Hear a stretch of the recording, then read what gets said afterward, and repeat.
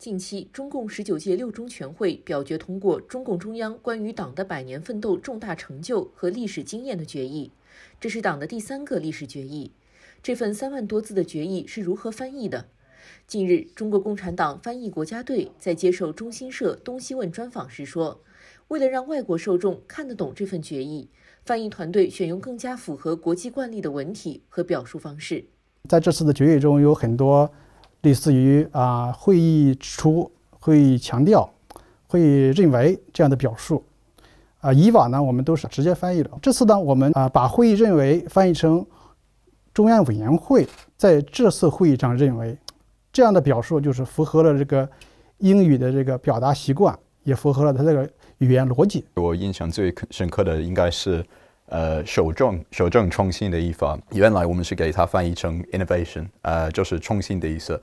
呃，最终我们决定还是要把守正这个部分翻译出来。现在它的翻译是 innovating on the basis of what has worked in the past，更能原汁原味的体现出去呃原文的含义。决议中提出的两个确立具有决定性意义，这类政治概念又是如何翻译的？刘亮说：“这就要遵循凝练精华、避免过多修饰的翻译原则。我们在翻译习近平新时代中国特色社会主义思想时，就是习近平 thought on socialism with Chinese characteristics for a new era。为什么用的是 thought 而不是 thinking？从词性上来说，这个 thought 是名词，它强调的更多的是事实；thinking 是动名词，它可能呃更加倾向于动作。另外一点来说。”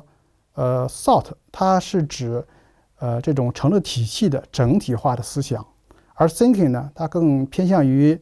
呃，某一方面的具体的思考，保持了我们这个核心政治概念翻译的一贯性和连续性。那么，中国共产党为何要第一时间对重要文献进行官方权威翻译呢？翻译团队认为，想要减少外界对中国主张的误解，就需要传递关于中国现状正确清楚的信息，通过内外兼顾的翻译方式来最大限度减少外界对中国理念主张的误解。对内而言呢，作为译者，我们要读懂读透，呃，中国的政治制度，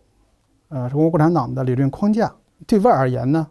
我觉着我们的呃译文要适应。国际环境复杂变化、不断发展的这种趋势，我想啊，通过翻译，首先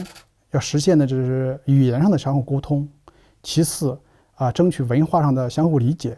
最终实现不同文明交流、互鉴、融合。现在的中国已经非常开放了，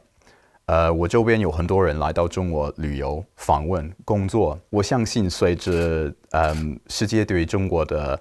呃，不断的了解和认识，中外之间可以呃实现呃和而不同，对呃外界对中国的呃误解也会越来越少。